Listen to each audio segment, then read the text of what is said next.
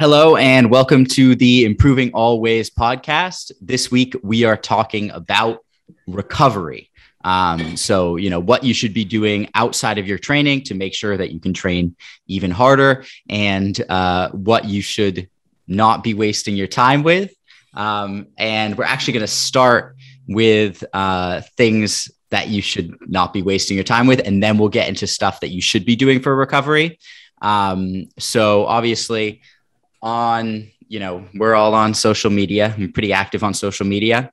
And probably 90 plus percent of the things that I see about recovery um, while I'm watching the video or reading the post or whatever, I'm just shaking my head the whole time. Hmm. Uh, obviously, there, there are some people who put out some really, really good stuff um, about recovery. But even, you know, I see some fairly intelligent people that I would expect uh, expect more of um, putting out stuff about, um, you know, ice baths and stretching and foam rolling and you know all all this stuff that there's really not that much evidence behind it. So like i said we're going to start with what is not recovery um, and then we'll get into the things that you should be doing.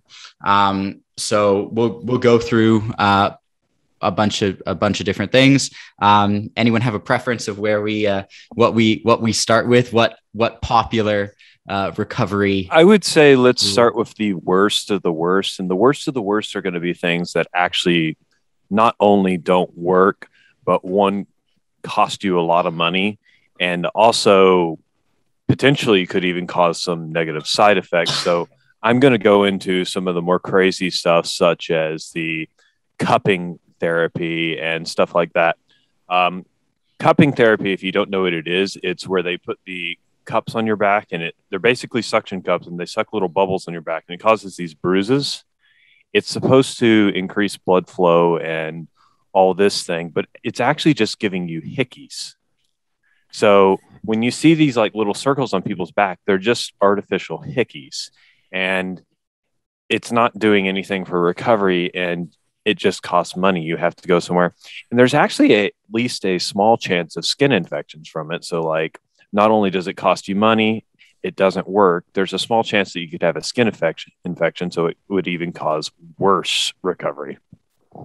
Yeah, uh, definitely. And you know, one thing that I find interesting with um, with a lot of these things, but uh, kind of especially with cupping, um, is that um, I think it was the 2008 Olympic Games when all the athletes were having Michael cupping Phelps done. In particular, was that? I guess I guess that was probably because it was in in Beijing, maybe. Oh, it was Just, Michael Phelps. It was because Michael Phelps did it. Yeah, and everyone's like, he's the greatest Olympian of all time, so we must copy the greatest Olympian of all time.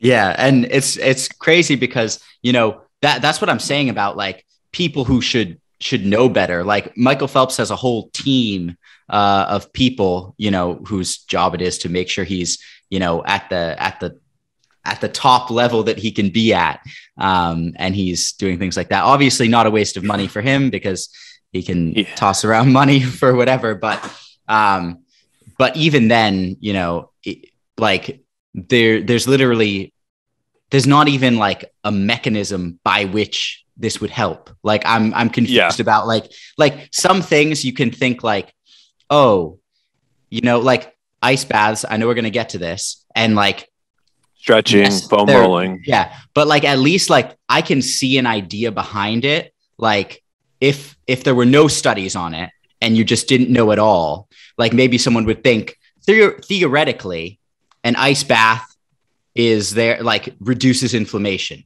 which you would think oh that's a good like just hearing that you're like oh that's a good thing but i str- with cupping i struggle to like what what are you what are you doing? What are you trying it, to do with it? it really comes down to the appeal to antiquity because the whole thing is is that it's traditional Chinese medicine and it's been mm-hmm. done for thousands and thousands of years. And if it's done for thousands and thousands of years, of course it must work. I mean, it's not like we haven't learned from the past. I mean, I don't know about that.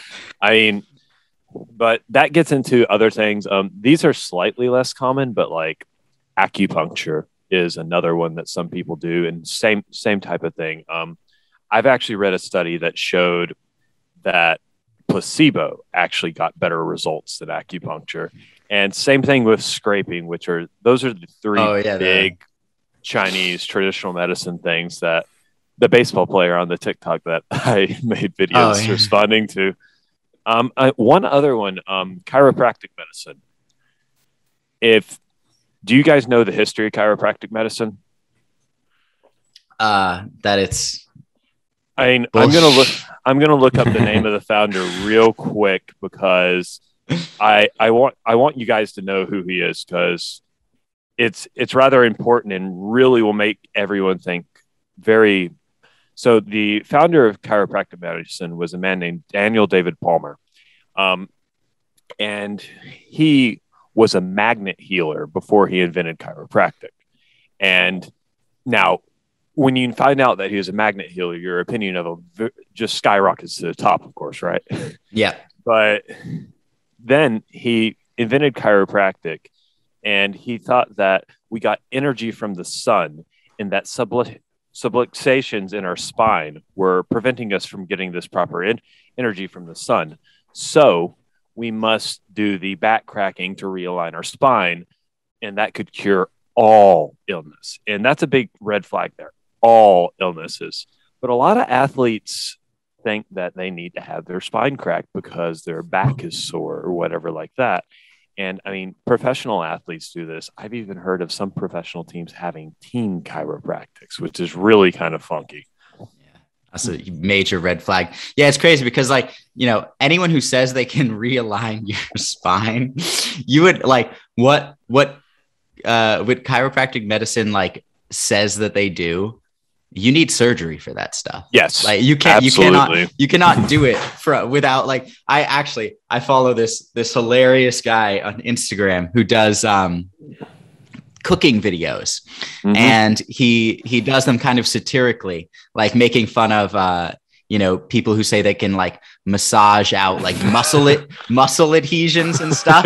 And he has like the chicken breasts and he's like massaging out the muscle muscle adhesions with like or like pounding it with like a hammer to try to get the adhesions to go away. And they you know like you cannot do that. Like it does it does not work. Um so anyone telling you that they're like massaging out muscle adhesions or like realigning your spine like moving your your bones around like what are you kidding me like that that is not a good thing like um, and not only does it not help, but you know, there's there's definitely cases where it uh, it can. Yeah, it's it it's usually not too bad, but there's actually been a few cases. The most notable one I think of there was a Playboy model that had died because they did the neck cracking thing, and it like. Mm-hmm.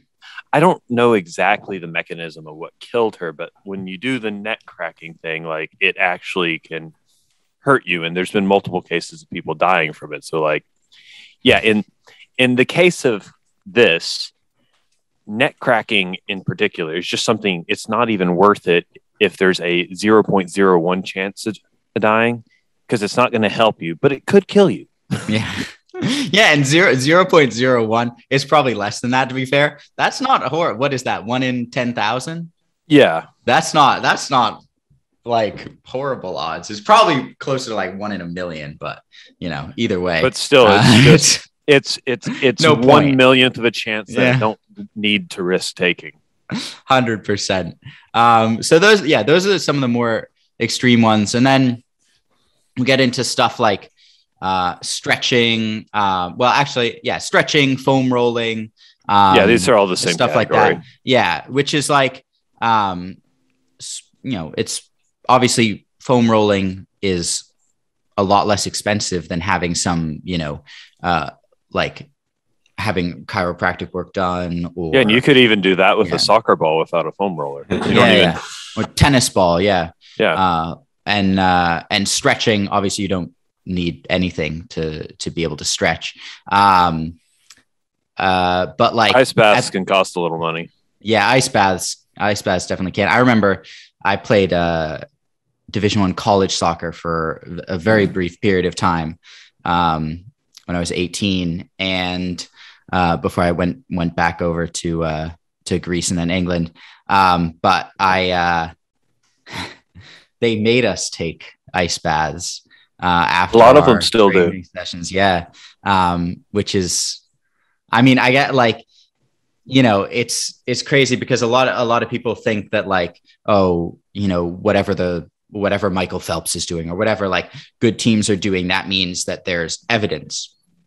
A lot of these teams do not follow, you know, evidence based uh, based approaches. There are some that do, uh, but and I see it especially like I think even more so in a sport like soccer because it's uh, like a traditional sport. Some of the sports that are less traditional have um, like less of a less of like a history of doing certain things so they're quicker to like break these trends when they realize it's completely also ineffective. America's slightly ahead of the curve in some ways. True, I mean, yeah. especially I mean, we have the best sports scientists in the world and they're getting applied to more American sports. Now the MLS does get them too, and so does the US Yeah. national team. It's just that like at the moment, the US national team and MLS don't have that worldly influence yet. It's gonna Yeah. happen. Yeah, it'll it'll happen. But like, yeah, obviously, if like most of the research comes out of the United States, then you would assume that people are more like informed on that stuff. Um, but yeah, and there are there are definitely clubs um, in in other countries that that do really really well uh, and follow an evidence based approach. But there are also there are also like so many clubs. Like just because like I wouldn't be, I'm sure like all the best clubs in the Premier League have like an ice bath place for their athletes to use, despite the fact that it's there's Yeah. no point. SK, you did some research on this. You have anything to say? Well, ice baths, um, yeah, I mean, basically, ice baths is supposed to reduce inflammation, right? Mhm. But even it hasn't been proven to reduce inflammation. But even if it does, it could have some negative side effects for like athletes that want to gain strength and muscle hypertrophy. But one other thing I wanted to cover was that you mentioned a little bit is that people see these athletes do like we mentioned the last last podcast like Ronaldo do like a thousand sit-ups and I heard like uh son does son his dad made son do like Mhm. four hours of keep ups or something like that and as soon And as we see and these beat him if he didn't. yeah as soon as we see we see these athletes do something we automatically go to the point Yeah. that it's the most efficient thing you can do for yourself, which I think is a is a huge misleading factor. And even in things that are proven, like strength training, just because you see an athlete do a strength exercise with like a Bosu ball or something, doesn't mean that you should incorporate it in mm-hmm. your workout. Yeah, there's a big correlation versus causation thing that we need to understand. Just because it's correlated that you see a lot of people do something doesn't mean that's actually the product of it. Yeah. But with with the ice baths, I mean, yeah, the big thing that I've noticed with the evidence is the only thing that it seems to really, really help for is temporary pain relief. So let's say you're an old man like me and your body just feels beaten to crap after playing a game. How old are yeah. 33. Don't say you're an old man. I'm 27. I can't. I can't be hearing that. I'm the old man of the podcast though. true. True. but but the but the ice bath will provide me temporary pain relief. Now the problem is is like SK said, it can impede hypertrophy and other things like that, which will have a negative impact on athletic performance over time if you do it too often. But I personally don't because ice baths suck. And I'd rather just not have an ice bath. I'd rather be in a little bit of pain in nice room temperature settings. I mean, even with like stretching and cupping or like uh, chiropractic stuff, some people could argue that it kind of feels good, so that's why they do it. But with Mhm. like ice bath, you're in pain for like 10 minutes. I don't get why would anyone want to do it. yeah. Well, know. I, I, think the pain is actually. I think. I think the pain's actually what they arguably like in many cases. I mean, do you think cupping? Cupping definitely. I mean, can be a little painful, but yeah, that's I'm. Let's let's massage get into, can be massage can be painful. massage can be brutal. Yeah. I love like, massages. I'm not gonna lie. no, like I I like massages too, but like Deep tissue yeah. sports massage. Yeah, if, yeah, like yeah, someone's for like sure. you know kneading you with like their You're freaking, sore like elbows. You're You know, literally like- sore afterwards from it. Yeah. So like, maybe that's doing the opposite of recovery. and, and like if you have access to an ice bath, like it's a miserable experience, but like let's say you play a game and you have a game later that same day or something, I could see an argument for like getting an ice bath so you can feel better for the next game. Yeah, temporary pain of- yeah, relief. Yeah, exactly. So like it's not like there's never a use for any of those things. Some of some things like cupping, there's no use ever for it. Yeah. Um, unless you want to, I guess if Have you think it looks cool, looks cool or something. Um, but like there uh for ice bath, so like there is a use, but like how common is that? Professional athletes or like in soccer, like what's the quickest turnaround from one game to another? Um, like Sunday to Sun- Tuesday. yeah, exactly. So like you have a full day in between to rest and you'll you'll be you'll benefit more from that. Um, I just want to tell uh, what what were you going to bring up, Noblet? Because I want to tell a little story to kind of when we uh, transition into what you should do. Um, I was going to get into more of the stretching and myofascial release All right. stuff of Let's- foam rolling. Let's get into that. Yeah. Yeah. Um, so now here's the thing: the big difference between myofascial release, which is anything foam rolling related, basically, even I would include massage into this, and stretching is in many cases I do for recovery purposes, I do not find them harmful, which is a big difference between a lot of the other things where they actually can impede recovery and can actually be bad for you. So these things, while there isn't really any research showing that stretching helps recovery or that myofascial release helps recovery. If it feels good to you, I'm not going to tell you not to do it because it's not going to actually hurt your recovery. And even that placebo in your head could potentially help you. And if it does work through placebo, I'm not going to tell you not to do it unless it's actually harming you. So, do you guys have anything you want to say about either of these because I have I have at least one thing to say about myofascial release that we should talk about before we move on. Yeah. Um, I I will say one thing. Um, so I, I don't know how much how much we'll disagree, um, but it might be a little bit of a point of contention. I do not want so I like I'm on the same page with you. Like I'm not going to tell someone like never get massages. It's like the Yeah. worst thing you can do because it's not. Uh, it won't be harmful, but I if I'm going to give advice to a player, I do not want them benefiting from uh, the placebo effect for things like, you know, through things like massage, foam rolling, stretching, because the risk of relying too much on the placebo effect is that you end up noceboing yourself. So, noceboing is basically like, let's say you get a massage every week and you think this helps me play better. Now, if you think that, maybe it does help you play a little bit better. And then one week, you don't get your massage because the masseuse doesn't have time available for you. You don't have any money left to pay for it, or you know whatever whatever the case is. Um, you don't get your massage. All right, or you get to the uh, get to the game a little bit late, and you don't have time to foam roll before you get out on the pitch. And all of a sudden, I didn't foam Yeah. roll. I'm not going to play well. I didn't get my massage this week. Oh no, I'm going to have a horrible performance.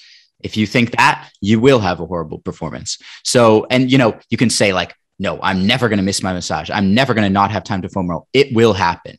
You know, you can't uh, control like every aspect of everything. I don't want, so like, if a player understands that a massage won't really help them play better, but they still want to get one, I used to get, uh, you know, Yeah. sports massages um, ev- every week. I knew it didn't help, but I, I got them for free. So I was like, why not? It feels good. Yeah. Um, I enjoyed them. So I used to do that. Um, but I didn't, I wasn't like placeboing myself into playing better. And I wasn't like noceboing myself if I missed an appointment. Um, I was, you know, I was chill. Uh, and I think it's important that athletes know that because if you start relying heavily on, on the placebo effect, there are negative consequences to that in, in my opinion. Yeah, I mean, it's basically like anything superstitious. If you have a superstition that if you don't put on your right shoe first and you realize you're putting your left shoe on first and then you have a bad game, it's because of that. Yeah. But I will say there is one thing. There's a very big difference between foam rolling before and after exercise. Um, and stretching before and after exercise. Interestingly, it's actually inverse. The foam Yeah. rolling before exercise is the one where there might be some temporary acute benefits. So I'll actually get into what I was going to say about foam rolling and myofascial release.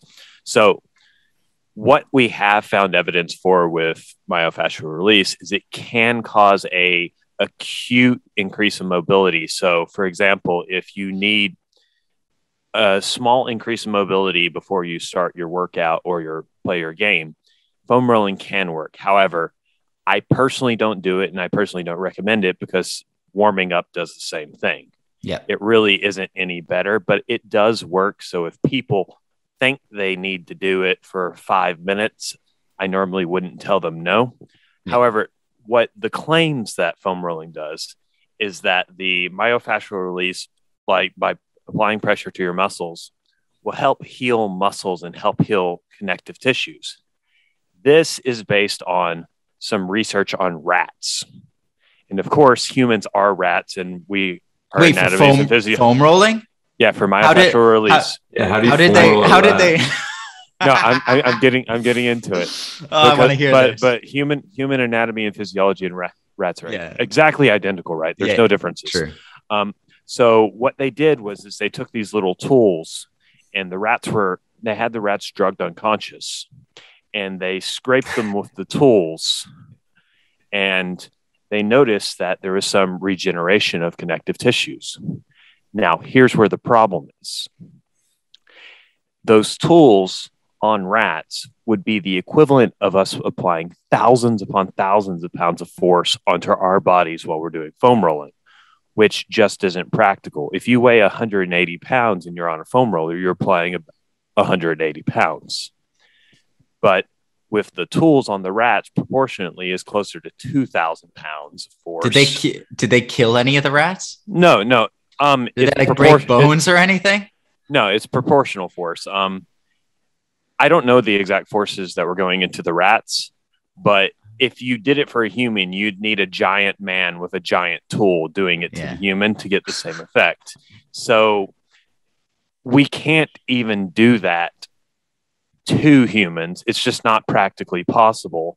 I mean, I guess you could try loading up a thousand pounds on a barbell and rolling it across your body, but you need like just- weighted foam rollers that weigh like Yeah. a thousand pounds.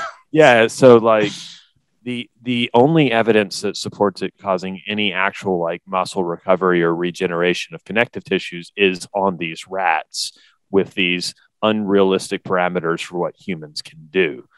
And for that reason it's just it's not you're just not going to be able to get benefit from it that way. And there's no reason to even think you could nor is there any evidence that that same type of thing would actually work in humans because we can't test it. It's just not realistic or safe to test.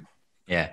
Do you know um this uh has nothing to do with anything but well not really, but um do you know how they do when they do like uh resistance training studies on rats? Do you know how they how they do that to like strength how do you strength tra- train a rat?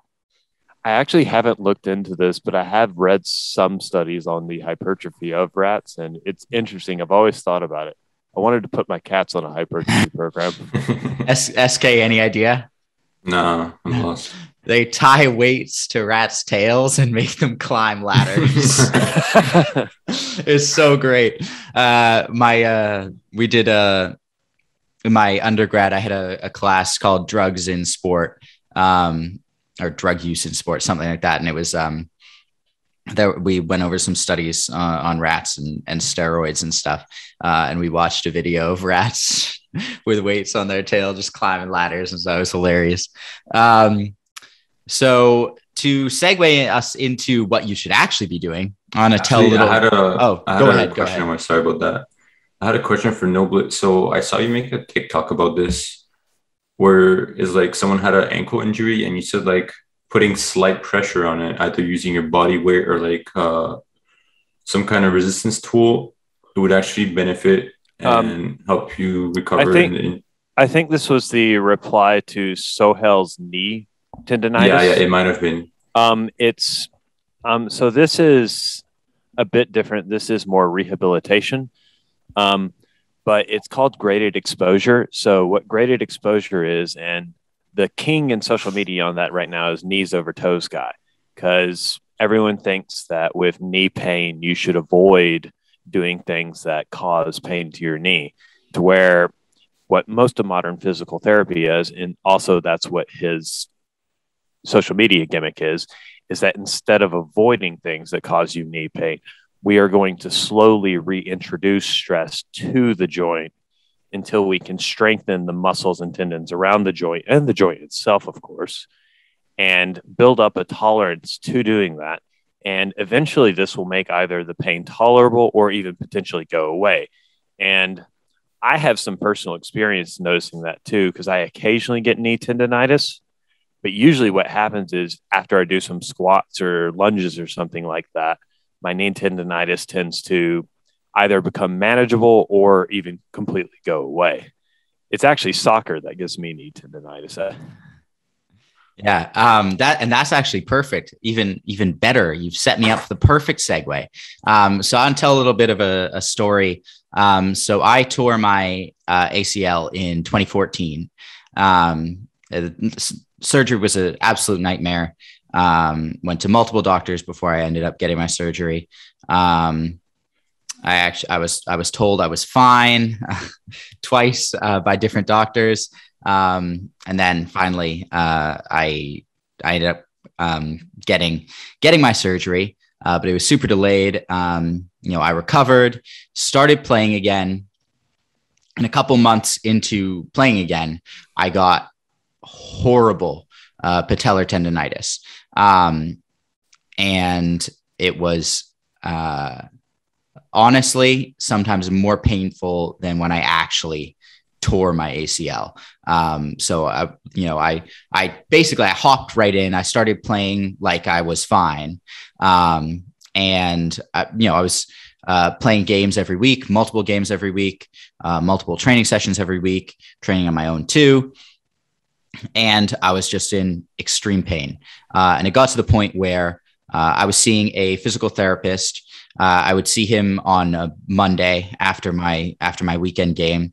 Um, I would see him on a Monday, and then I would have usually I would have a midweek game. Sometimes I wouldn't, uh, and on like Tuesday or Wednesday, and then I'd see him on Wednesday or Thursday. So I'd see him twice a week, um, and uh, basically I did nothing except play in the games. I had to sit out of so many training sessions because I was in extreme pain, um, and uh, what this guy would do is he would do stuff like massage, uh, acupuncture, um, Get All- knee acupunctured. yeah, uh, tons, tons of different stuff. Uh, and this was back, you know, I was in my early twenties. I didn't, I didn't have a clue, uh, and I would have done anything to just to be able to play, and I was able to play. Um, and uh, but I was every day after a game, I was in agony. Sometimes in games, I was in agony. I was able to get through, you know, 90 minutes if I if I played the 90 minutes. Um, but in between games, it was horrible. Some days I could hardly walk. Um, and uh, I went through basically half a season like this. Um, and then I started working with someone new because I was like, you know, this is ridiculous. Like, I can't do it. I can't even train. Um, or, you know, it was, it would probably been, you know, I'd probably go like two, three weeks without completing a full training session. I'd have to sit for part of it. Um, so I started seeing a new guy, started strength training, started doing, um, you know, I, I would train a little bit. I would be a little bit more smart about my training. Um, wouldn't try to do everything that I possibly could. Um, started taking care of myself a little bit better. Um, but definitely the huge thing was the the strength training. Um, and spring season, I was able to play zero pain. Um, and now I'm not saying well zero pain, next to next to no pain. Um, so you know, I had made myself think, I had no noceboed myself into thinking I needed this recovery, this acupuncture, massage, whatever, to be able to play. Um, when it it just wasn't the case. Um, and that's that's why I'm so hesitant to um, or why, why I'm gonna I'm gonna tell young players straightforward like oh when they message me and say oh I'm doing foam rolling is that good recovery? I'm no it's not. It's not gonna yeah. help you. Um, if I'm not gonna say never foam roll it's the stupidest thing. If you foam roll you're you're an idiot. It's gonna hurt your uh, gains. yeah but like I, I will tell people straight up like this stuff does not help you. Don't think that it does if they ask me. Because for me um, this physical therapist it was very harmful. Um, and a lot of people who tell who preach this kind of recovery can be very very harmful to young athletes. Uh, you know harmful to their wallets um, and harmful to them you know just uh, like in, in general to their game. Um, and i'm so thankful i found this other physical therapist who is all about you know doing active recovery and um, strength training which is what we did. Um, you know we would i would do soccer training sessions with him. Uh, i would do strength training sessions with him.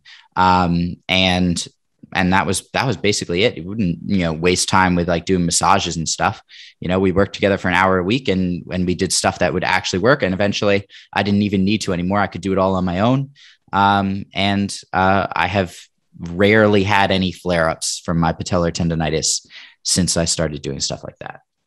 So if I if I can add something right before we go in, uh, going back to what you said and what Noblet said, so couldn't that kind of be applied with foam rolling, like putting pressure on your sore areas of your muscles?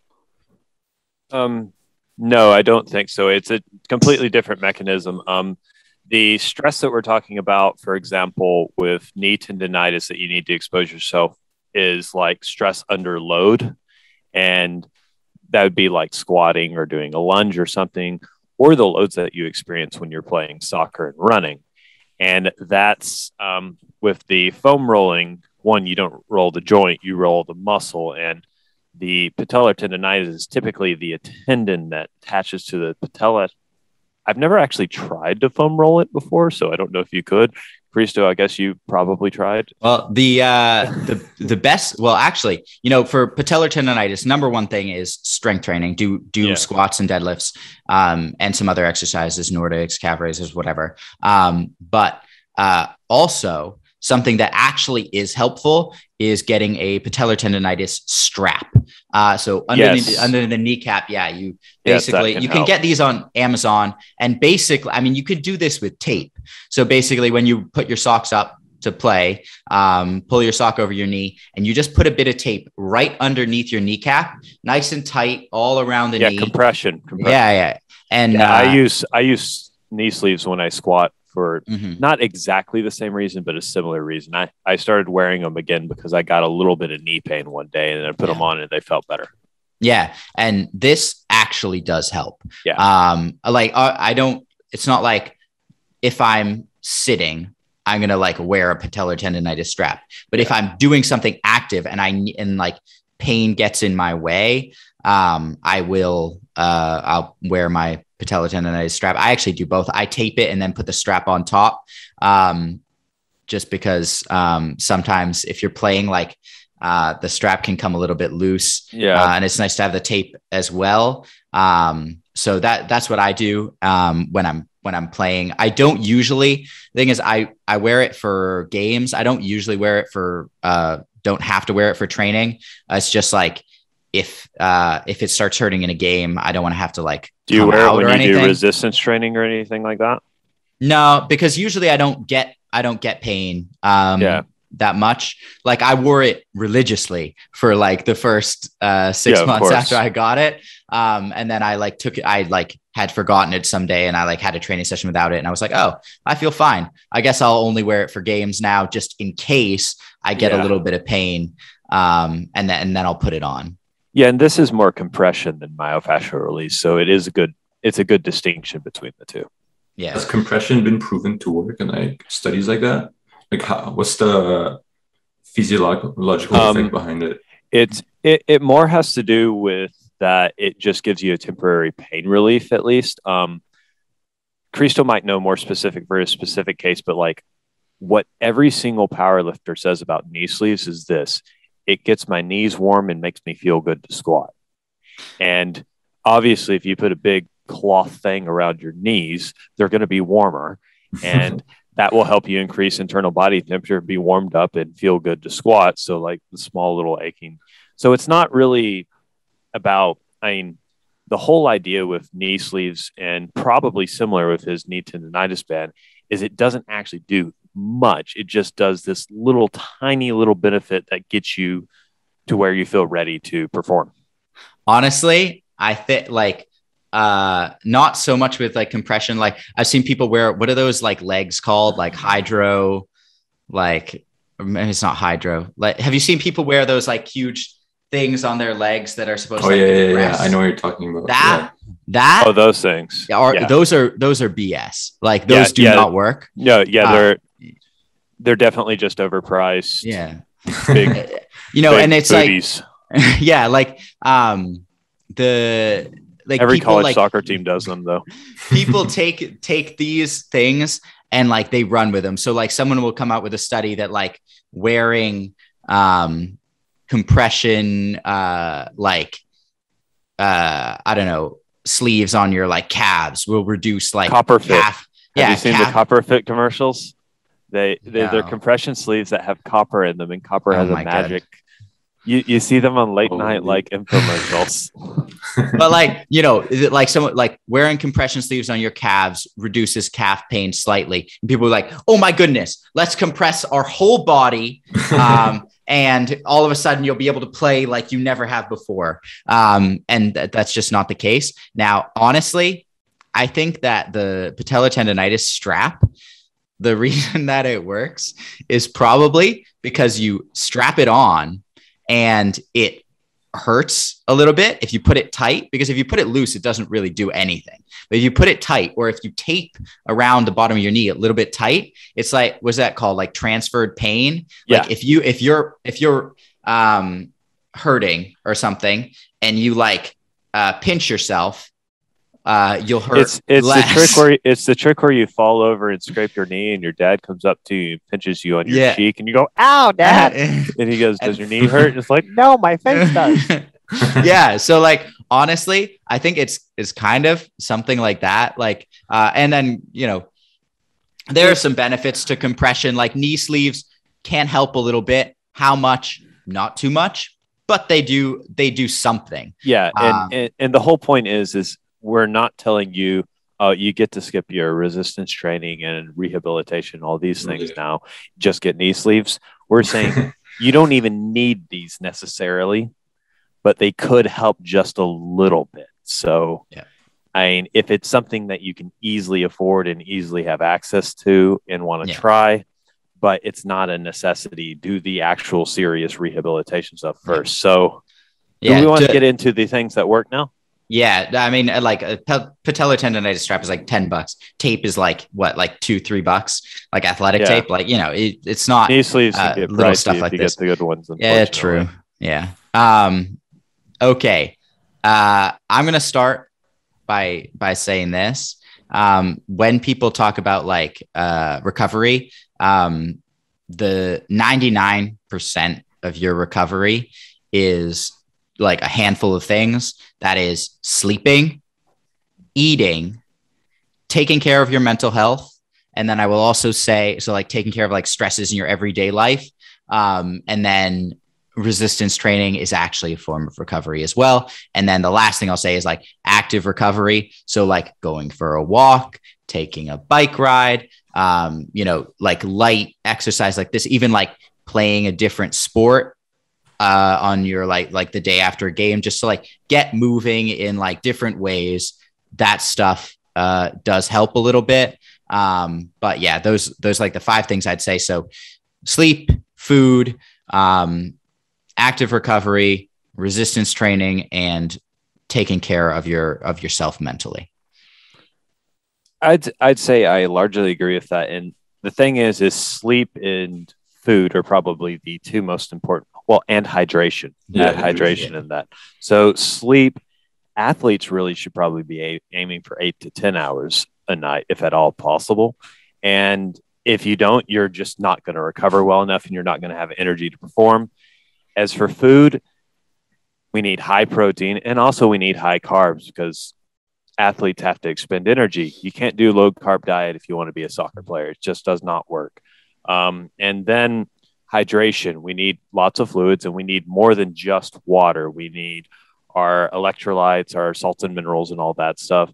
And really, I mean, recovery, the one problem with recovery is what works is boring. The things that work are the Hundred things we. Yeah, the and they that we, and like time, time consuming, right? and ti- like and and time off. yeah, I mean, really, like the biggest things I do to recover is basically I don't do strenuous activity for a day. Mhm. If I'm really trying to recover, I basically like, let's say if I had a really, really important game tomorrow, my activity for today might be going for a walk. And it would be a short walk. It wouldn't even be a long walk. Yeah. And the reason is, is because your body needs time to recover because that's how it repairs and becomes strong again. And it's unfortunately it's quite boring. And that's I think that's why people like the idea of gimmicky fixes is because it's quicker and it gives you a more acute sense of something happening. Where the reality is is the only thing that really helps you is sleep, food, hydration, and time off. Yeah. The like my advice to like any athlete would be like stop doing everything that you're doing for recovery, like e- literally everything, and take all of that time and do a couple things. You could put it like all into sleeping more if your sleep is shit. Mhm. You could put it like learn how to cook in that time so that you can cook yourself like simple good meals um or like put it like into like time that like you get real food rather than like um ordering um fast food all the time which like you know you can you can I, like you don't need to have to be, like to, the be, strictest to be to be fair, when I was playing professionally in Detroit, hot and ready Little Caesars was our go-to meal for me and my roommate.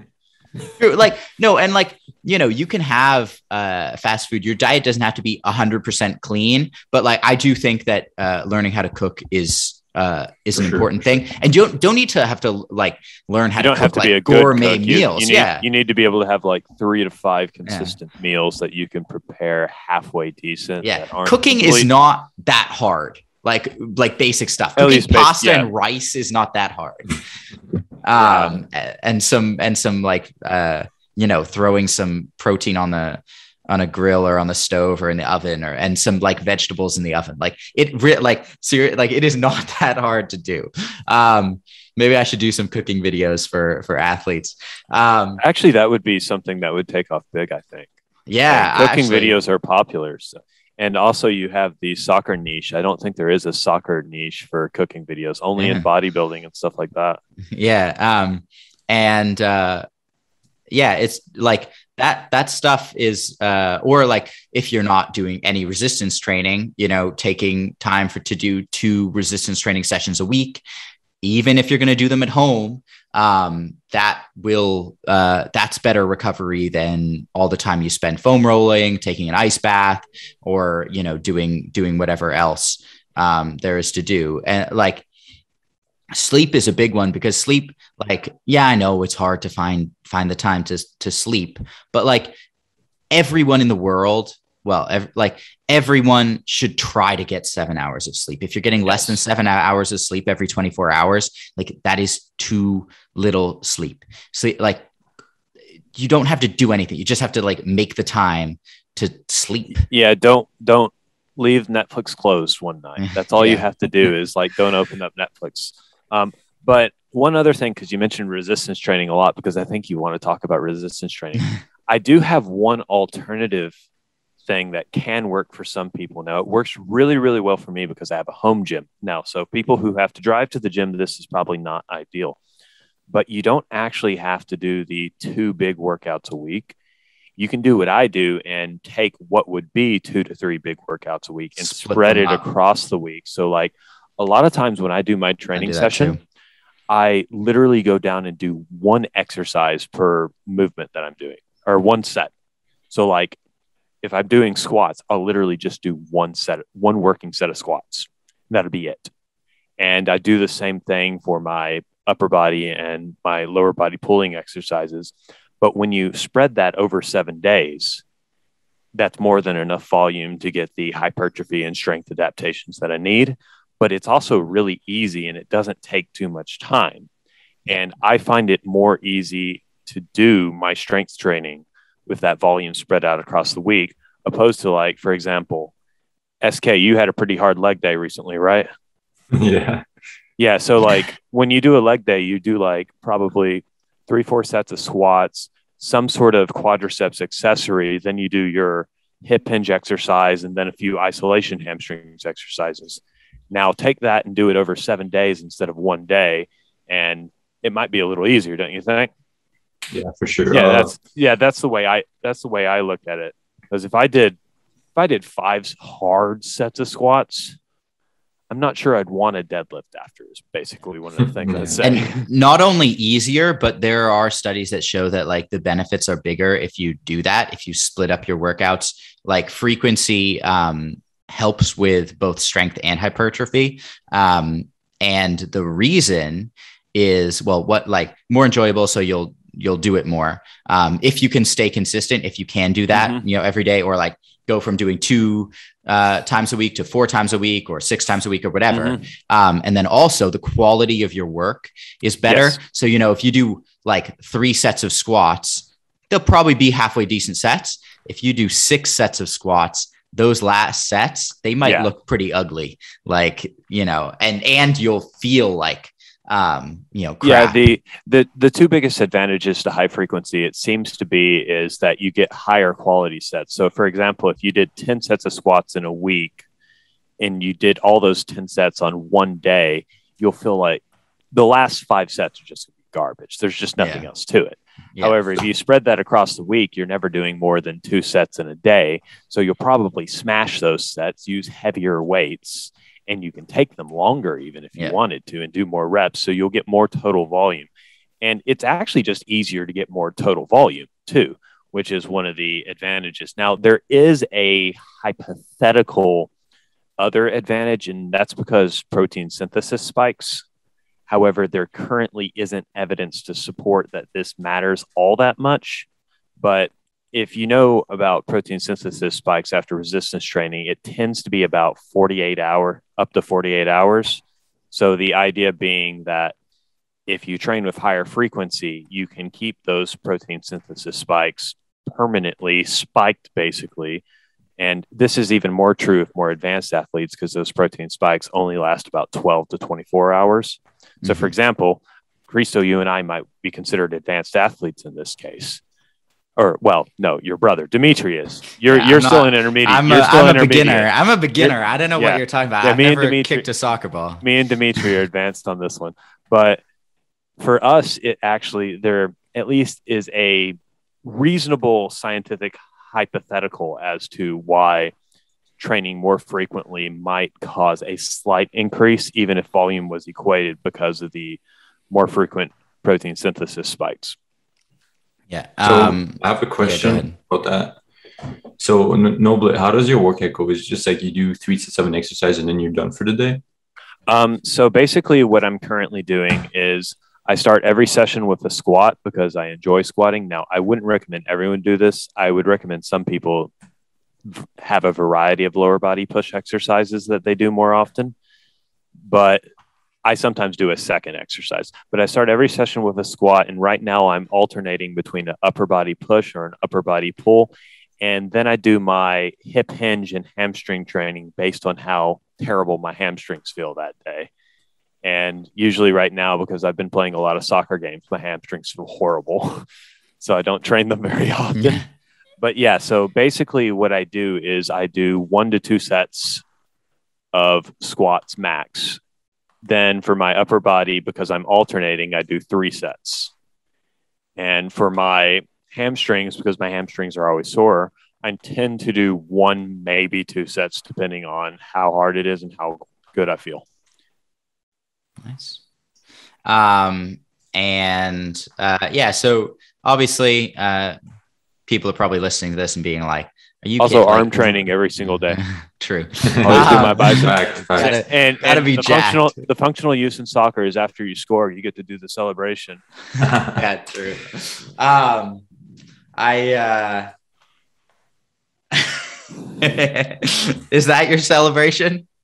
It's Just one of my celebrations.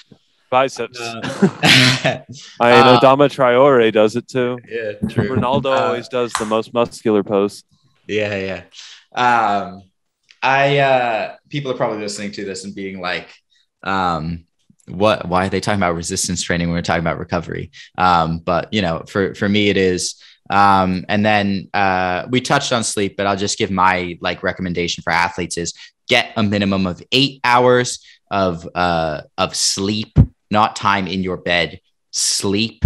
Um, and then um, if you're going, if you're sleeping more than 10 hours a day, that probably doesn't have benefits. But like going from eight hours to nine hours has been shown to have some benefits for athletes. Going from nine hours to 10 hours has been shown to have some benefits for athletes. So if you can get 10 hours of sleep, um, do that. Uh, fig- find a way, you know, it's And realistically, I think if you're getting over 10 hours of sleep, it's usually because you're making up for lack of sleep previously. So, for example, like I've had times to where like I've gotten five hours of sleep in an entire week, and on weekends I sleep 14 hours. yeah, But that's because I'm making up. I think if you're getting good sleep regularly, you'll probably wake up naturally after eight, nine hours most of the time, as is. Yeah. But w- uh, one other thing I'd like to mention, because this is actually something that a lot of athletes do that is good and is work, and it is a way to get a little extra sleep. nah. So have your sleep at night. And if you can find an hour during the day to take a nap, take a nap. I mean, find a dark spot that is comfortable and lie down and close your eyes for an hour or so. That's another way you can get a little more sleep and relaxation. And yes, that will help you recover. And it's, I mean, that can turn your seven hours a night sleep into eight hours a night, eight hours, not during the night, but eight hours total. And that helps. Yeah. And like, oh my God, I get so mad whenever I see like the habits of prof- of successful people. Cristiano Ronaldo wakes up at 5 a.m. You know, uh, whoever the, cult, else. the like, cult of waking up early is one of my Yeah. biggest pet peeves. Um, I can't stand Musk. the whole. thing. here. They sleep five hours 5 a night because yeah. they always work so hard. Yeah, Same. but like I I you can get your sleep whenever. I get home from my coaching at like 10 o'clock at night, sometimes later. Um, I can't sleep at 10 o'clock. So I cannot wake up at 5 a.m. Um, uh, like I'm usually eating dinner at, you know, 10 30, 11 when I like when I get home. I used to have training ten to twelve. Yeah, and like you know, in lower like uh teams like in in England or um you know lower level teams, it's often you know nighttime training. Like I saw I saw I don't know even know how you say his name. Sohail. So yeah, yeah. He um his team trains at night, and he was like he made a video about how it's it's tough. Um and yeah, I mean it's probably less ideal for most people. Um, but you know like if you can't get to bed, and I often don't get to bed until like one or even like 2 a.m. because like I eat um, and I have, you know, some some downtime that I don't usually have during the day. I sleep in. I wake up at, you know, if I go to bed at one, I'm not waking up before nine. Like I'm not sorry. Like, and if if you think that makes me like lazy or something, like, yeah, what, Yeah. whatever. Like, who yeah. cares? Um, and here's the thing: like some people, if you have work at seven or eight, I mean, you got to do what you got to do. Yeah. Um, that that's just the unfortunate reality of living in the world as it is. I we get too much into economics and politics for that. Krista, we'll do an episode on that one day. Yeah. Economics is soccer. Um, but the fact of the matter is, is yeah, there's a entire cult of waking up early, and we used in high school we had death at dawn was when we did our conditioning. We'd go run on a track at 6 a.m. in the morning before class in the morning, and we didn't have practice in the afternoons.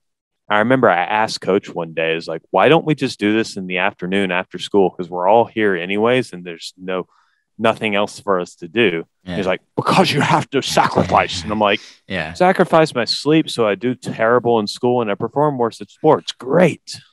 Yeah, it's like that's that's the the kind of mentality, uh, and that that's actually Yeah. uh, good to like um, move into like you know taking care of your of your mental health, kind of like. And I'm not even like obviously I I talk about like stuff like meditation and self talk and um, all of this stuff, but like the most important thing for like taking care of your mental health, at least I found, is like um, talking to your friends and your family. All right, being Yeah. like you know having a social life. Um, you know, like uh, spending time with the, with the the people that you love. Like obviously, you know, if you're a very serious athlete, you do need to make some sacrifices. Um, but like athletes who are like, oh, I, you know, I have no time for a social life. I have no time for my girlfriend or my wife. I have no time for my family. Other hobbies yeah. too. You know, I think that's yeah, exactly. Like I think that's the I think that's the wrong approach, and I think long term that's going to hurt your you as a person and as an athlete. Yeah, Like for sure. the ath- athletes who prefer like Cristiano Ronaldo and Messi, like yes, they work extremely hard. They also have families. Um, Yeah. and you know, like it's it's pretty apparent to me that they are um, you know, uh in like engaged as like uh in their family life. You know, they're Yeah. part of it. They're not just like um obviously like it's like any um you know any person father, who but yeah still. exactly has has a job like a full-time job and stuff and obviously they work very very hard but they make time for their family and their kids and time to relax and spend their time doing things that they uh that they enjoy doing obviously they enjoy playing soccer so that's like the the you know it's good to have a job you enjoy but at the same time like it's very for things you enjoy and the people that you love And you yeah, also for sure. see a, and um, sorry, you can go ahead. no, I'll go that's ahead. okay. Um, something I want to remind everyone is like for everything, for mental health, for the recovery, uh, how you recover, it's kind of you have to find what works for you. And I'm not saying like don't sleep because it doesn't work for you. Those are necessary, like sleep, hydration. i eat no nutrition, those are food because i can't find foods i like Yeah. So I heard like Ronaldo takes like five out like five naps that are like three hours each, and that's how he does his sleep schedule, and obviously works for him. So in all of these, I would say do what works for you. So like maybe for your mental health, you like watching Netflix alone, you like talking to your friends, or maybe you don't like doing ice baths, so you don't do them. So like kind kind of finding that balance of what works for you, I think, is very beneficial for recovery. Yes, um, and that actually helps me into what I was going to say, anyways. Um, because I was going to mention how there's actually quite a few professional athletes that are also musicians. They play an instrument, all these things, and what that basically does is gives them a stress relief from their sport and allows them to channel some energy into something else, which takes their mind off it. And there you go. That's a form of mental training. If you like playing the guitar, you like rapping, or any of these things, yeah, take a few hours I'm, and focus I'm dropping my album in a couple weeks. Don't worry. awesome, awesome. My old coach was a rapper actually for Detroit Waza. I'll have to send you his songs. They're actually really fun.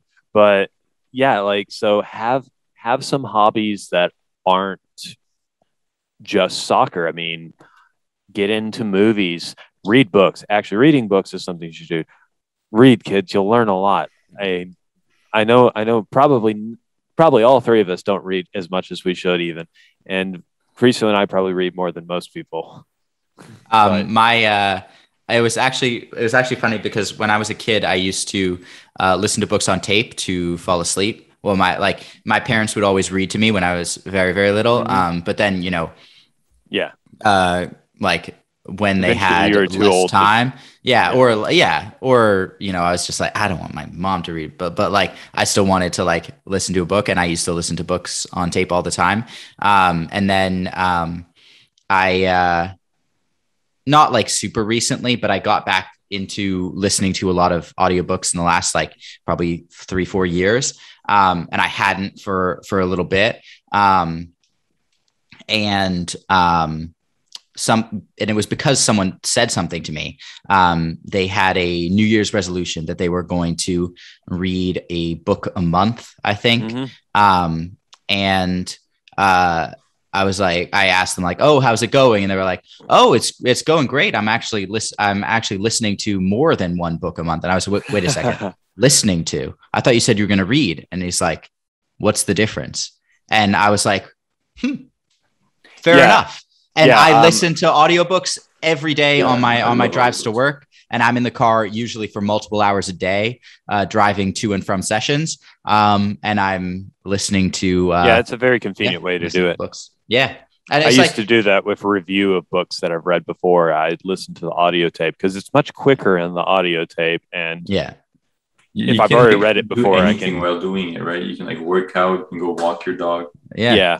Now there is there there is there is one drawback I've noticed is if it's a book I really want to retain the information in, audiobooks are normally the worst possible thing. Yeah, Mhm. Um, I actually need to sit down and read it.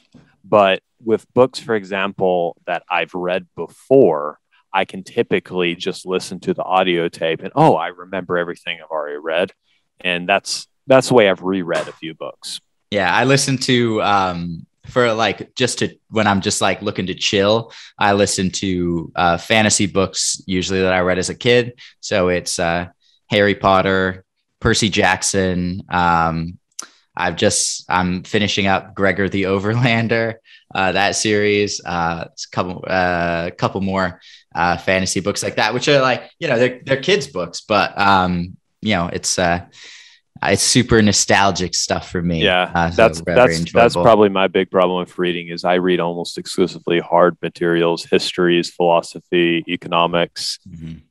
Yeah, you're not Middle as Eastern fun as con- me. Middle Eastern conflict.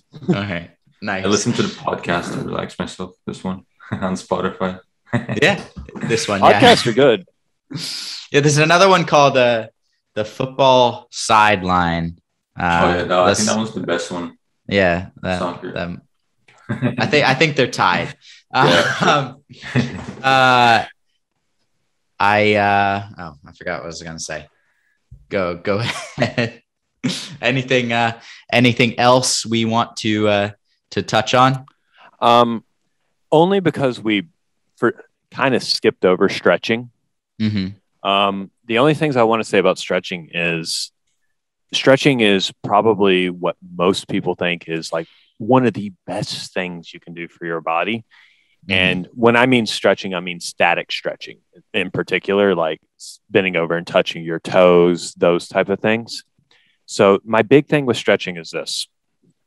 What most of the research shows is that it provides no benefit before physical activity. And there's a very small amount of research showing that it can actually be detrimental to performance in especially weightlifting or sprinting activities.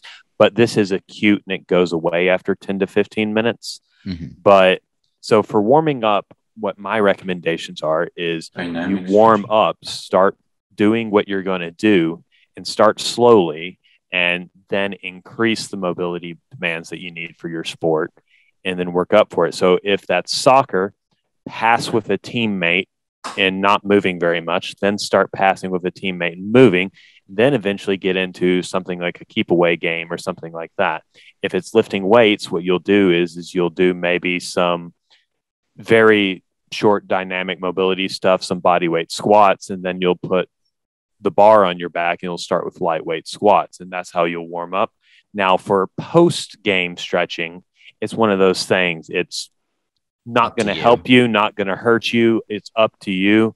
Um, it might be mostly placebo, but it's not the worst thing in the world. So I'm not going to tell someone not to Yeah. do it, but I'm also probably not going to advise them to do it. Yeah, and like when I was uh, kind of when I started uh, reading some some research on stretching and realized it was horrible. Obviously, I'd like um, or not horrible, but like it was. It is horrible um, in my yeah, opinion. I yeah. never do it. before before uh, before exercise that it had some like uh, you know that it could hurt your performance if you did it before. Um, I started, um, and obviously, you know, for my whole life, we had done static stretching before every practice, before every game, um, and we were still doing it. And I was like, ah, I want to like Yeah. be like, let's not do this. But instead, I was, um, what I would do is I would just make static stretches into dynamic stretches. So, you know, like bend down, like touch your toes, like bend down, touch your toes, and stand back up, You're you're your better than And- me at this. I would just kind of like stand there and be awkward. yeah, well, I, I, you know, the team comes first, Noblet, and I, I don't want to make my teammates feel bad. I don't want to make my coach feel bad. yeah, but half the Uh, team wasn't ever actually really doing True. the stretching, True. were they? I mean, true, but like the difference uh, is is the difference is is they were being lazy and I was being scientifically True. smart about it. but but I would like at the same time, like you know, you're not gonna like I'm not gonna stand there and like juggle a ball while my teammates are Yeah, stretching. yeah. So like I could stand there and do nothing, or I could make those uh, static stretches into dynamic stretches, which I think dynamic stretches have their have their place. Uh, I think you know just using a ball, uh, usually even my technical warm ups incorporate a soccer ball, but like you know uh, if if people want to do like open the gate, close the gate, heels, knees, Yeah. all of that stuff, Well, like open the gate, fine. close the gate's actually good. That's actually what Yeah. I do as part of my squat warm up for just Yeah. few- not very long, but that's Yeah. what I do. Yeah. So like I would just make static uh, stretches into dynamic stretches. Um, and it's pretty easy to do that. You know, if you're doing like, like I said, like touch your toes, stand up, touch your toes. And then you're, you're basically just doing like a Romanian deadlift at that point Yeah. with body weight, which is super easy. But like if you're working on your mobility a little bit, like And that the thing in resistance training has been shown to actually be as good or better for mobility than static stretching ever will be. So Yeah. if you're actually getting your stretching by doing resistance training, if you're doing it properly for through a full range of motion, none of these quarter squatting stuff. Yeah. All right. I think we've uh we've hit We this it. one pretty uh pretty show, well. show off your Mystique jerseys real quick, then. to- yeah, you need to I'm gonna that. I'm gonna do a shout out in a second. But yeah, I mean, obviously recovery is a huge topic, so we'll probably touch on it again, like most of the topics we talk about, um, because they are so you know kind of broad, and I'm sure there are things we've missed that will. Uh, I'll be I'll be thinking back on this podcast in five minutes. I'll be like, should have said that. Um, but yeah, we'll. Uh, everyone all set? Yeah. Yeah, I'm good. Yeah. All right. Awesome. So I'll do quick shout outs. So right now there's a giveaway going on on my TikTok uh, for a Mystique uh, jersey. Actually, by the time this is on YouTube, it'll probably be over. Um, but I'll probably um, I'll do a post uh, talking, uh, you know, announcing the winner um, and uh, giving everyone who you know participated um, a, a little discount. So if you want to get your your Mystique jersey, uh, your mystery jersey, uh, you can you can do that and probably get like ten percent off. Um, and su- support, you know, uh, our our social media. And uh, but yeah, this I got this Dortmund jersey, pretty sweet. Um, I've been wearing it uh, a lot. um, other shout outs uh, if you're watching this on YouTube, if you want to watch it a couple days early, you can sub to me on Patreon um, and you'll uh, you'll get it uh, two days early. Uh, if you just can't wait uh, for all the knowledge we're dropping, um, uh, watch we our have- watch our new episodes early on Yeah. Patreon because if they're watching you tell us to watch this episode, they've already seen it. Oh, true. Yeah, yeah. um, yeah, I know. I always, I always Watch new episodes Yeah. weekly or bi-weekly on Patreon. Yeah. Um, there's also um, I got to get you guys some uh, some merch, and I'm gonna do some some giveaways for my merch. Yeah, I've got to get you my Um, old merchandise that I made a long time ago. all right. Nice. We'll have to exchange yeah. exchange one. um Noblet really needs a shirt. So if someone wants to buy him uh, an Improving All Ways uh you know shirt uh and get it to him, you know, he, I'm sure he'd appreciate that because um, or a Mystique jersey. yeah, or that. Um, but yeah, uh, and obviously, you know, you should follow. You should be following all three of us um, on uh, on social media. I'll put the uh, you know I'll put our TikTok pages down below. We also all have Instagram pages, um, and uh, yeah, and that's uh, that's pretty much it. Um, but yeah, thanks for watching. Um, hope that you uh, have uh, you know benefited from uh, from the I, I think this is actually one that like will help a lot of uh, young players if they if they take this advice because I know from personal experience that my recovery uh, I had a lot of bad ideas about what recovery was when I was younger. Um, you know, I I wasn't always the uh, the intelligent uh, man that I am now. Um, you weren't you weren't always like me. yeah, I mean, I mean, I talked about my my stories doing acupuncture on my knee and like all this stuff. So you know, like yeah. I was I was clueless. Um, and uh, you know, in a similar theme to a lot of my stuff, like this is this is stuff that I wish I had known. It's a learning Uh, experience. yes. You know, this is stuff that I wish I had known when I was uh, when I was younger. Uh, that's why I started posting on social media to help people who were in the position I was in. And recovery is is huge. Uh, it's just not huge in the way that you think it is. Usually. Yeah. All right. Water bottle's empty, and that's the podcast. Adios.